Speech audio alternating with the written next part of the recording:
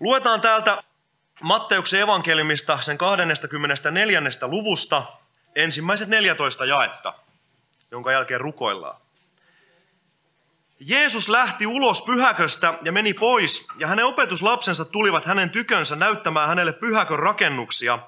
Ja hän vastasi ja sanoi heille, ettekö näe näitä kaikkia?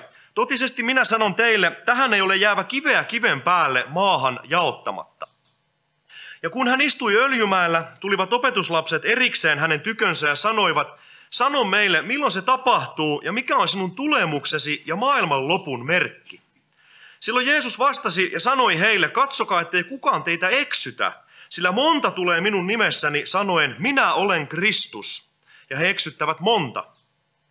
Ja te saatte kuulla sotien melskettä ja sanomia sodista. Katsokaa, ette te peljästy, sillä näin täytyy tapahtua, mutta tämä ei ole vielä loppu.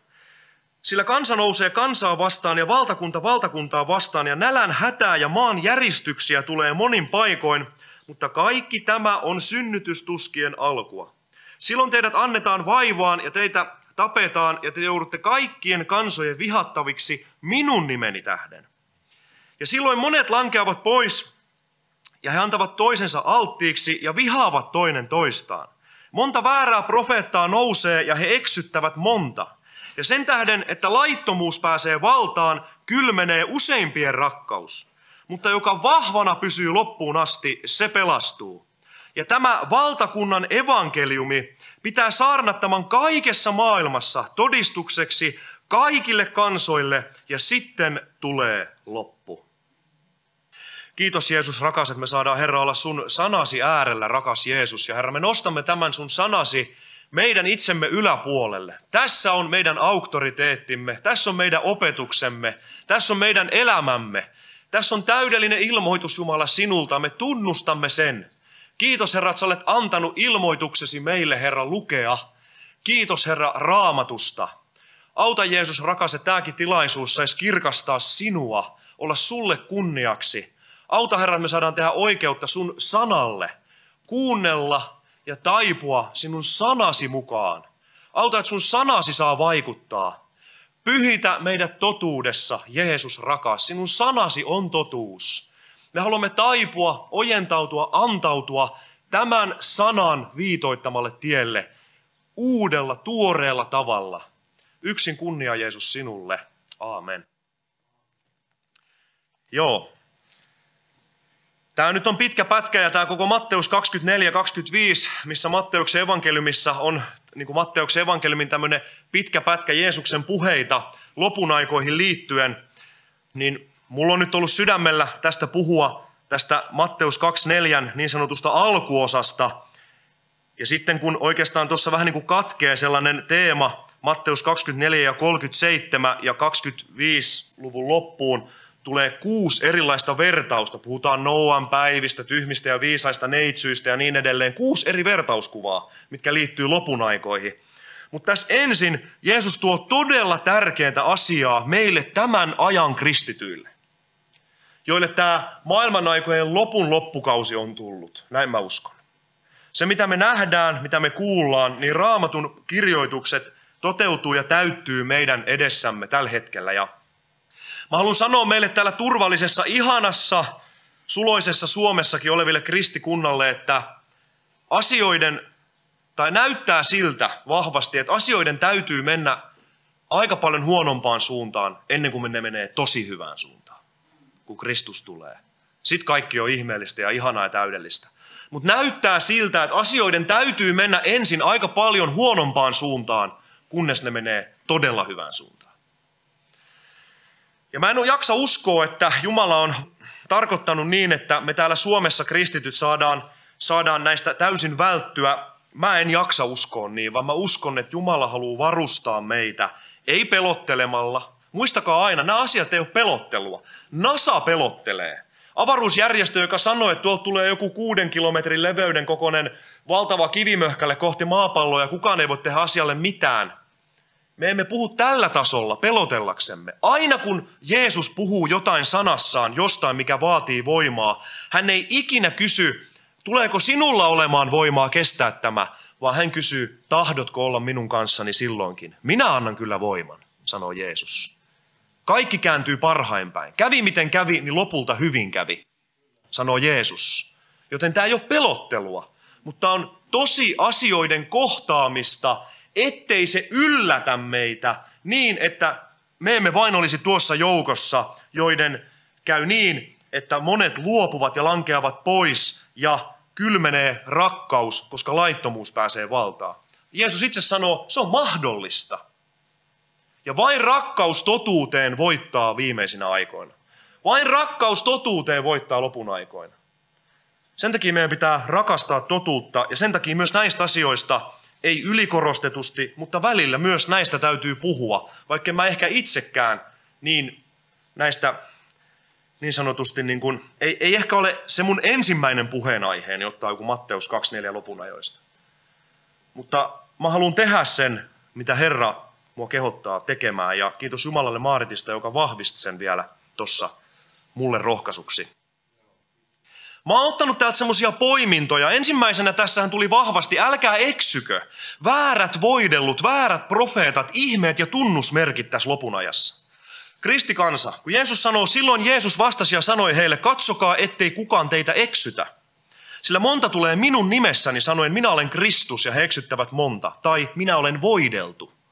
Kristusta he sanoo, minulla on joku erikoinen voitelu. Täällä kokouksissa vaikuittaa nyt joku tällainen kirkkauden voitelu. Kuulostaako jo tutummalle? Meillä on täällä kirkkauden syvempää ilmenemistä. Meillä on täällä sellainen ja sellainen voitelun välittäjä. Kuulostaako jo, että tulee lähemmäs? Tästä Jeesus on puhunut jo 2000 vuotta sitten.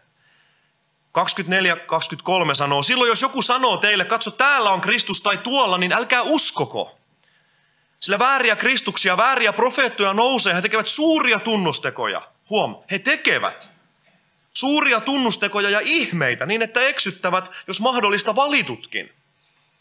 Tessalonikalaisten, toinen Tessalonikalaisten 2, 7 ja 9, sillä laittomuuden salaisuus on jo vaikuttamassa. Jahka vain tulee tieltä poistetuksi se, joka nyt vielä pidättää, niin silloin ilmestyy tuo laiton. Ei mennä vielä siihen, mutta laittomuuden salaisuus on jo vaikuttamassa. Nämä asiat jo ilmenee nyt. Raamatussa on useita kohtia, missä Jumalan kansa on lakannut, ne ei ole jaksanut enää odottaa. Mooses menee vuorelle, kypsä kansa alkaa kysymään Aaronilta, hän on ollut jo 40 päivää poissa, mitä Moosekselle on tapahtunut? Ei jaksettu enää odottaa, otetaan kultaa kasaan, tee meille tosta Jumala. Me ylistämme sitä ja sanomme, tämä johdatti meidät pois Israelista. Eks niin? Kuningas Saul, jolle Samuel sanoi, odota seitsemän päivän perästä minä tulen ja uhraan ja sitten on aika lähteä taisteluun Filisteaa vastaan. Samueli on ihan näpit syyhy, että kerta kaikkiaan nyt pitäisi tehdä jo jotakin. Missä se Saul, Samuelkin on? Ja hän meni ja itse uhrasi. Ei jaksanut enää odottaa Jumalaa. Koetelkaa kaikki, mitä mä sanon.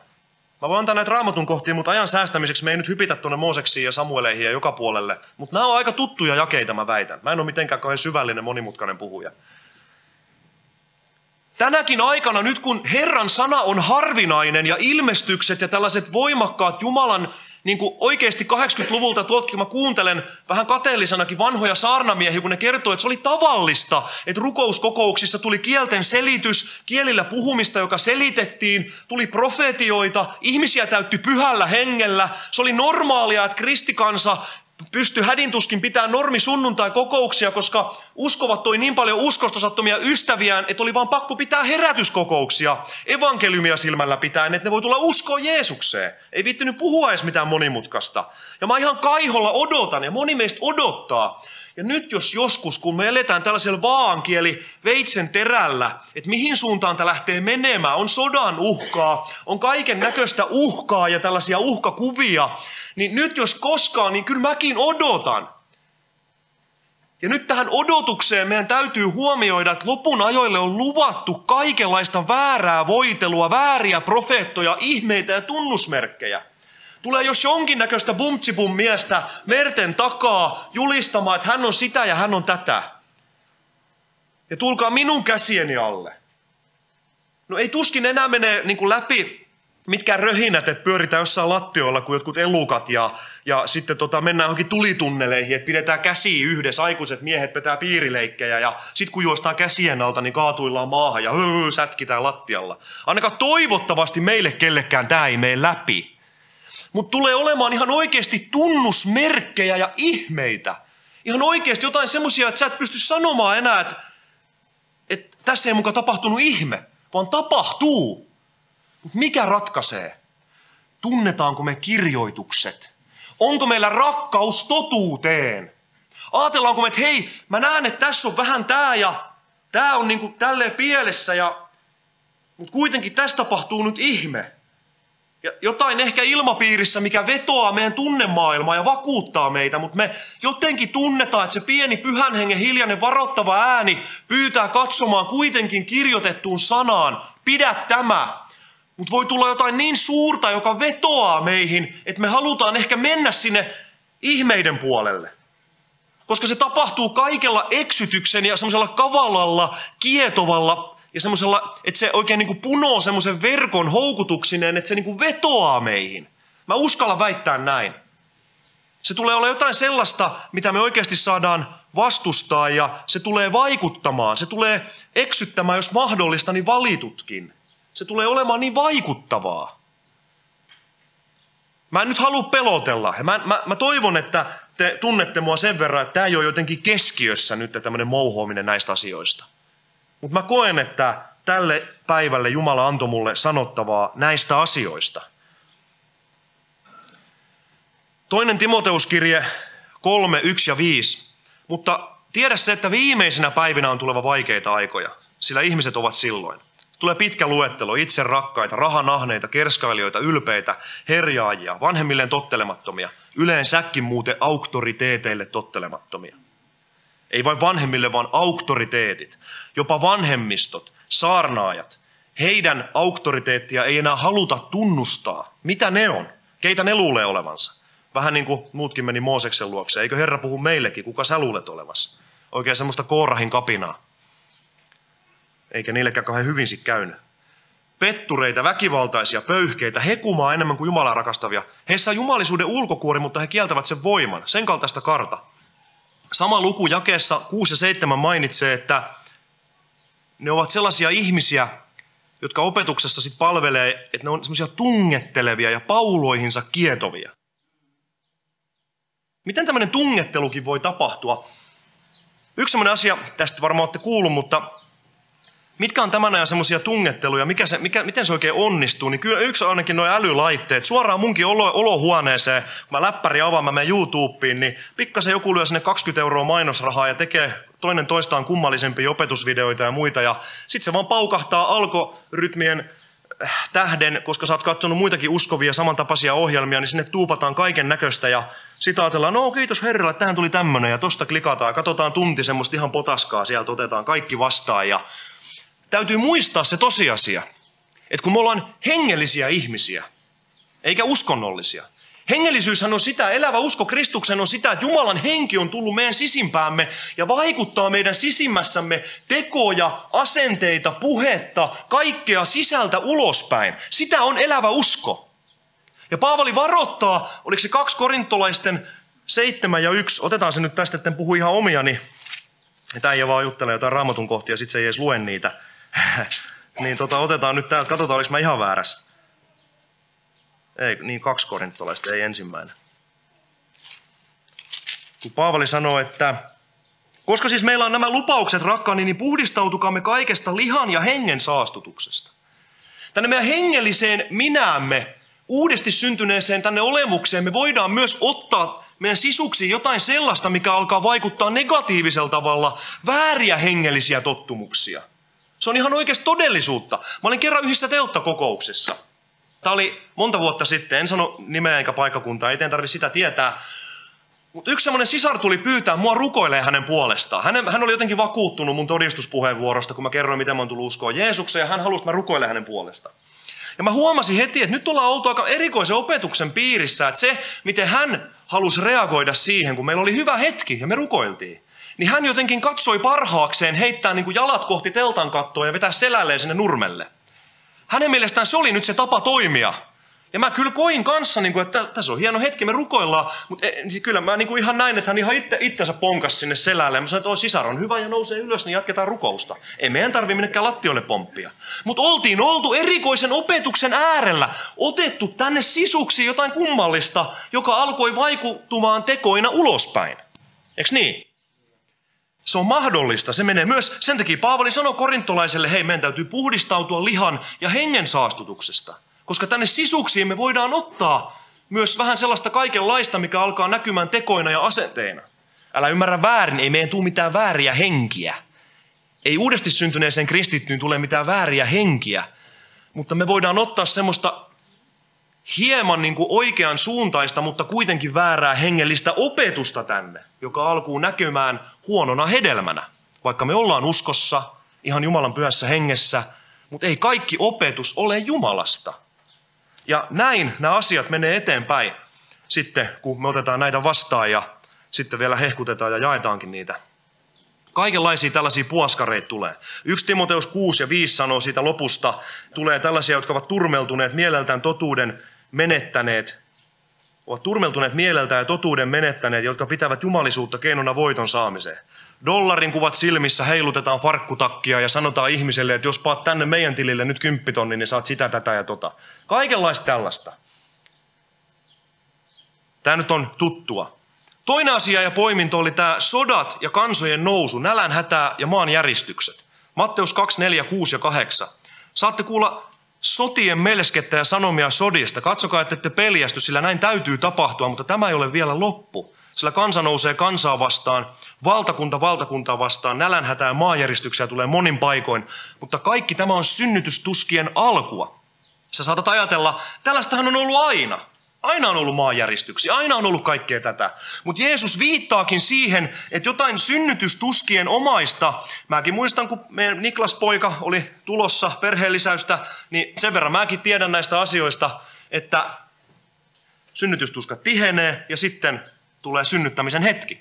Samalla tavoin Jeesus viittaa maanjäristyksiä, nälän hätää, valtakunta nousee valtakuntaa vastaan ja tulee vallankumouksia, sotia, tihenevässä ja tihenevässä määrin.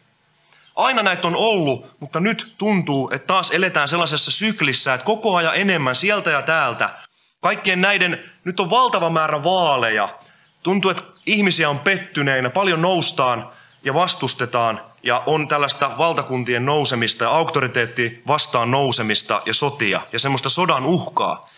Jeesus on sanonut, tämä liittyy myös lopun aikaan ja tulee olemaan tihenevässä määrin. Ja koska tämä voi koskettaa meitä niin, että meitä kristityilläkin, Suomessakin, tämä meidän usko voi muuttua siinä mielessä haastavemmaksi. Että meiltä voidaan kysyäkin vähän enemmän kuin mitä tähän asti. Raamattu on vakuuttanut, kiitos Jumalalle, että maailmasta ei ole ahdistus, mutta älkää pelätkö, mä olen voittanut maailman.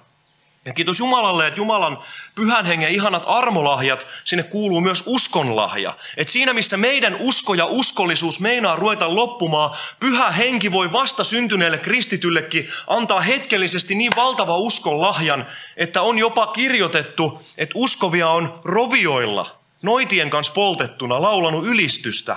Paimenet on antanut siellä telotuksen niin edellä ohjeita seurakunnalle, miten te jatkatte, kun mä tästä lähden jo kirkkauteen. Siinä on vaikuttanut väkevä yliluonnollinen usko. Jos me ollaan tänään vähässä uskollisia, niin sinun ei tarvitse pelätä lopun aikoja. Moni voi miettiä, että miten mä kestän, jos mä joudun kokemaan jotain sellaista, mitä mä oon vaan lukenut kirjoista ja kuullut maailmasta. Sä voit kestää, jos sä oot tänään vähässä uskollinen. Jeesus tulee auttamaan sua silloin, kun sitä paljon vaaditaan. Hän antaa sulle. Hän kysyy sulta edelleenkin, tahdotko olla uskollinen. Kolmas asia nimittäin on kaikkien kansojen vihattavina Jeesuksen nimen tähden ja suuri ahdistus. Matteus 24, 9, 13. Silloin teidät annetaan vaivaa ja teitä tapetaan. Ja te joudutte kaikkien kansojen vihattaviksi minun nimeni, eli Jeesuksen nimen tähden.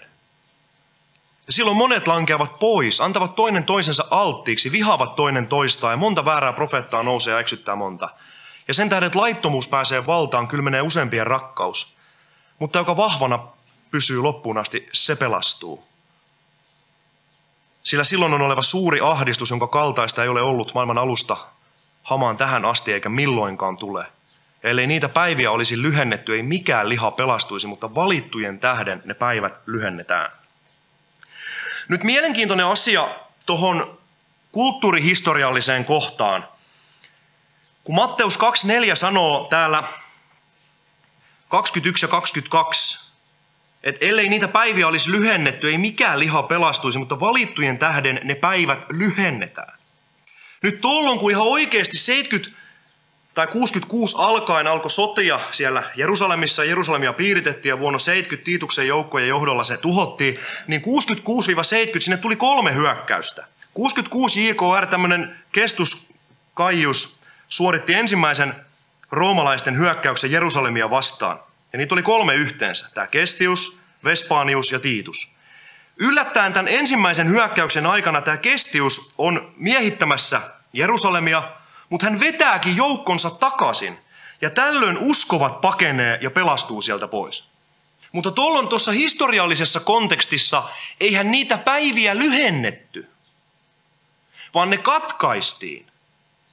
Joten se, mitä tapahtui silloin historiassa, ei ollut päivien lyhentämistä, vaan ikään kuin Jeesus antoi jo tuon ajan Matteuksen evankeliumin lukijoille vinkin, hei, kun te näette, että porukat tulee ja piirittää Jerusalemia, mä tuun antaa teille aikaikkunan, paetkaa silloin vuoristoon.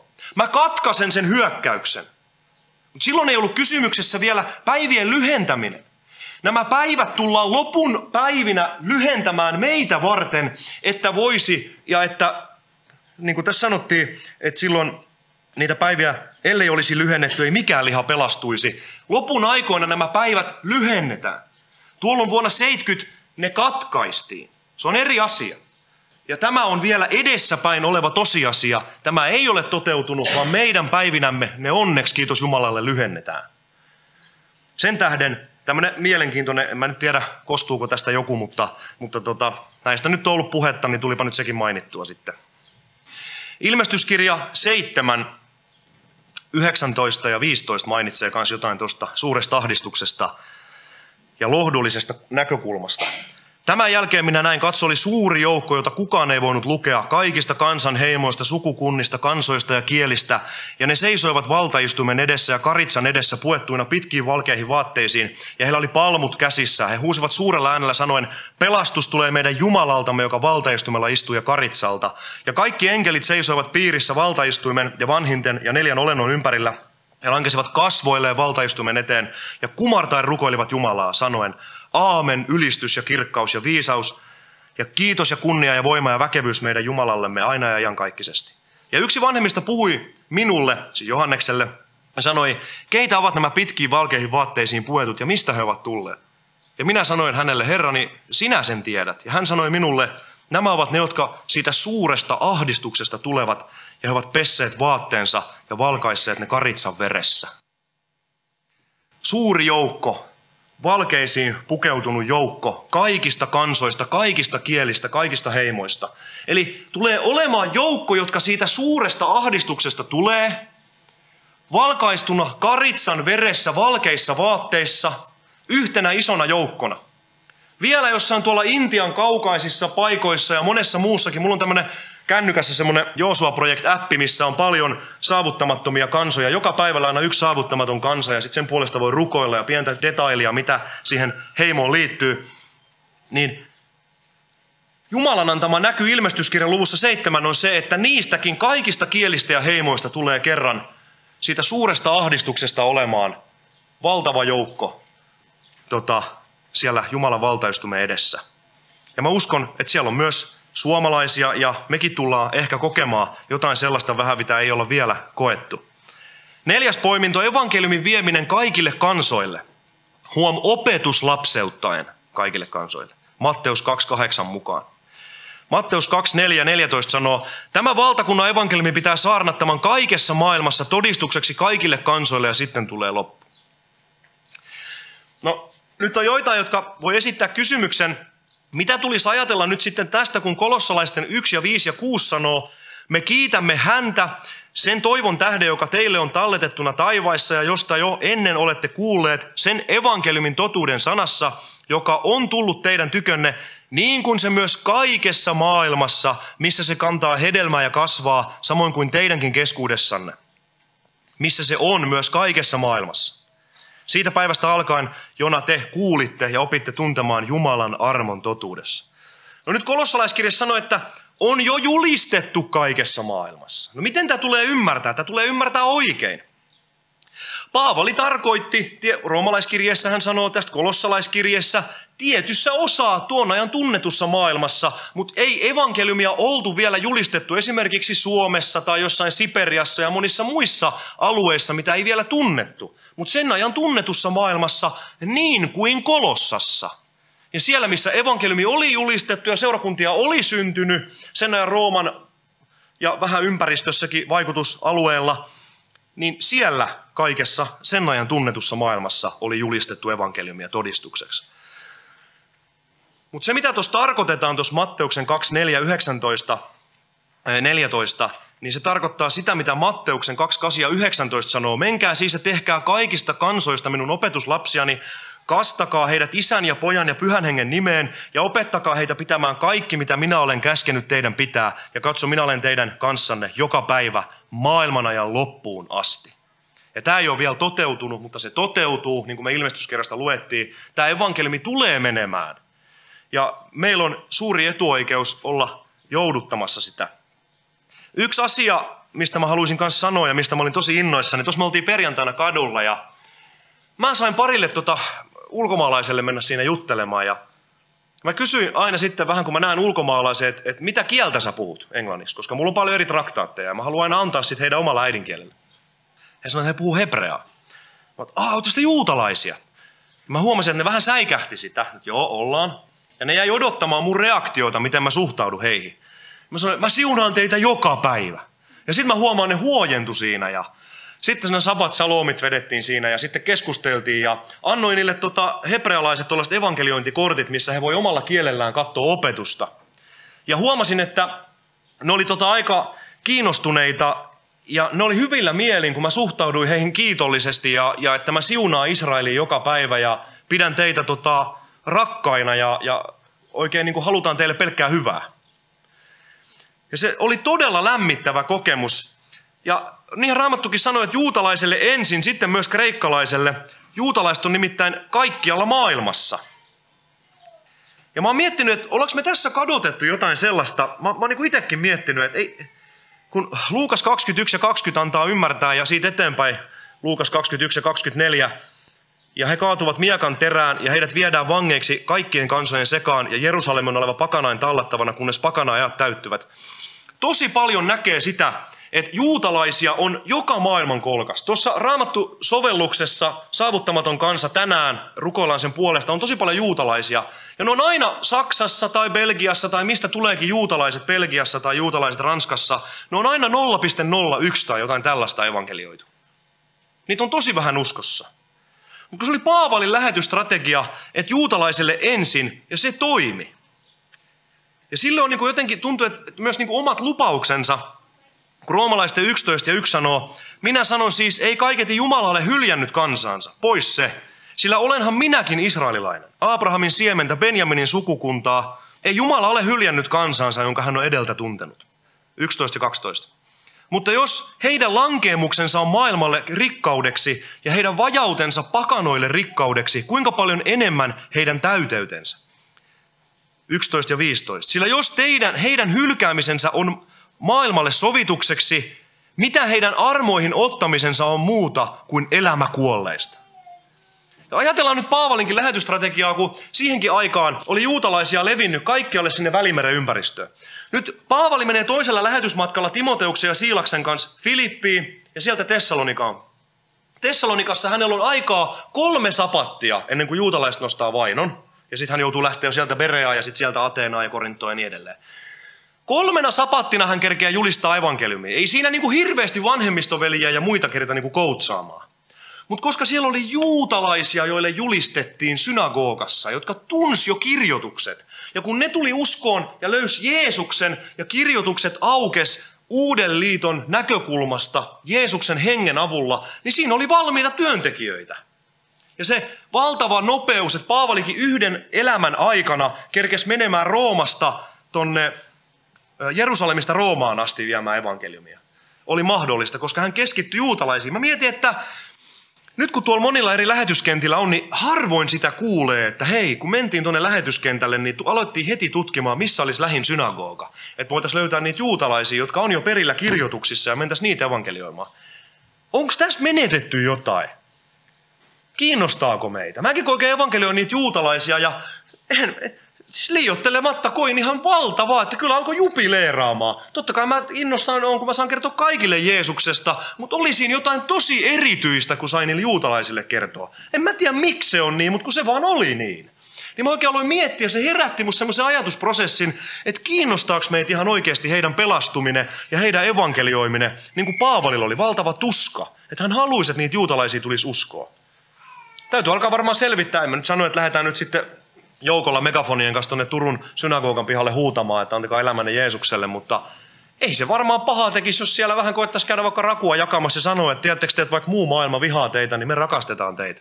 Tuossa on muuten tervetuloa One kokoukseen sunnuntaina. Ei se ihan varmaan pahaa tekisi, mä väitän. Viidenneksi, lopullinen antikristus, viimeisen ajan valheen voima ja vain rakkaus totuuteen voittaa. Kun Matteus 24.15 sanoo, kun te siis näette hävityksen kauhistuksen, josta on puhuttu profeetta Danielin kautta seisovan pyhässä paikassa, joka tämän lukee, se tarkatkoon. Niin 2 Tessalonikaisten 2, 3 ja 12. Älkää antako kenenkään vietellä itseänne millään tavalla, sillä se päivä ei tule ennen kuin luopumus ensin tapahtuu ja laittomuuden ihminen ilmestyy, kadotuksen lapsi. Tuo vastustaja, joka korottaa itsensä yli kaiken, mitä jumalaksi tai jumaloitavaksi kutsutaan, niin että hän asettuu Jumalan temppeliin ja julistaa olevansa Jumala. Ettekö muista, kun minä kun vielä olin teidän tykönänne, sanoin tämän teille. Ja nyt te tiedätte, mikä pidättää, niin että hän vasta ajalansa ilmestyy. Kun mä oon tämmöinen vähän yksinkertainen evankelista, niin mä luen tämän raamatun kohan. Tuo vastustaja, joka korottaa itsensä yli kaiken, mitä jumalaksi tai jumaloitavaksi kutsutaan, niin että hän asettuu Jumalan temppeliin ja julistaa olevansa Jumala. Ettekö muista, kun minä olin vielä teidän tykönänne, sanoin tämän teille. Ja sitten tätä ennen luopumus ensin tapahtuu ja laittomuuden ihminen, tuo kadotuksen lapsi ilmestyy. Ja se ei tule ennen, se päivä ei tule ennen kuin luopumus ensin tapahtuu. Ja sitten Paavali vetoaa, ettekö te muista, että minä sanoin tämän, eli tämän edellä kirjoitetun, mä sanoin tämän teille. Ja nyt te tiedätte, mikä pidättää. No mistä ne voi tietää? No siksi kun Paavali sanoi, että tämän mä sanoin teille, mistä mä juuri kirjoitin, luopumuksen täytyy ensin tapahtua johonkin mittaan asti, ja sitten ilmestyy tuo vastustaja, joka korottaa itsensä yli kaiken ja menee Jumalan temppeliinkin ja julistaa olevansa Jumala. Ongelma, miksi tämä meitä koskettaa?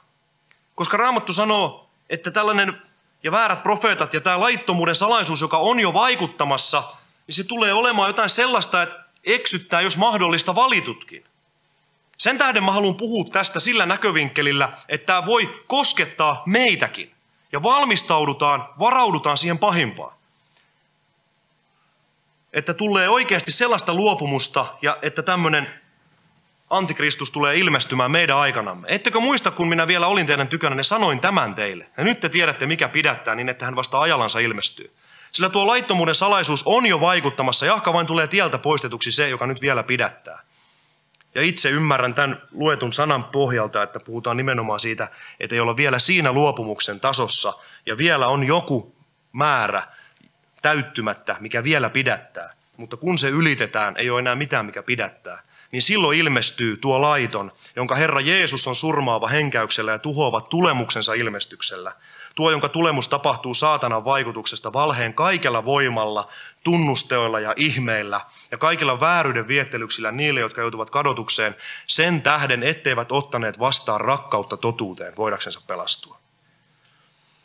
Siksi tämä on tosi tärkeää, jos me nyt niin kuin pelleillään, jos me nyt, ja mä, kun mä kattelen tälle ihmisiin, niin mä oon tämmöinen kontaktipuhuja. Mä katson ensinnäkin, että hereillä vielä. Mä en puhu erityisesti juuri aina sille, ketä mä katon silmiin. Mutta koska tulee olemaan ihan oikeasti jotain tässä mittakaavassa olemaan, mistä puhutaan, että se tulee koettelemaan jopa valittuja, niin nyt ei ole aikaa niin kuin enää leikkiä. Eikä meidän pitäisi haluta olla ollenkaan haluja leikkiä seurakuntaa eikä mitään, vaan olla niin kuin sata lasissa, vaeltaa valkeudessa, rukoilla, että Herra auta, että saadaan pysyä palavalla paikan loppuun asti. Ihan nyt oikein pikavauhdilla loppuu. Kuudenneksi puhuttiin tällaisesta ihan niin kuin jostain kosmisista asioista, mitkä on vielä edessäpäin. Matteus 24, 29, mutta kohta niiden päivien ahdistuksien jälkeen aurinko pimenee eikä kuu anna valoansa ja tähdet putoilee taivaalta, taivaiden voimat järkkyvät. Samaa sanoo Luukas 2125. On oleva merkit auringossa, kuussa, tähdissä, ahdistus kansoilla maan päällä ja epätoivo, kun meri ja aallot pauhaavat. Ihmiset menehtyvät peljätessään ja odottaessaan, mikä maanpiiriä kohtaa, sillä taivaiden voimat järkkyvät. Tulee jotain niin suurta kosmista ihan oikeasti, että jokainen ihminen on semmoisessa pelon mittakaavassa, että jopa joitain ihmisiä, en tiedä tekeekö ne itsemurhia vai mistä se johtuu, että niitä menestyy, kun ne pelkää, ja me eletään jo nyt sellaisessa ajassa oikeasti, kun ihmisten kanssa puhuu tuolla kaduilla uskovat. Että on niin epävarmaa ja vakaata aikaa, että oikeasti evankeliumi kiinnostaa ihmisiä. Näistä tämän ajan asioista, jos vähänkään nyt on katsonut uutisia, niin kyllä riittää niin kuin joitain, millä avata keskustelu ihmisten kanssa.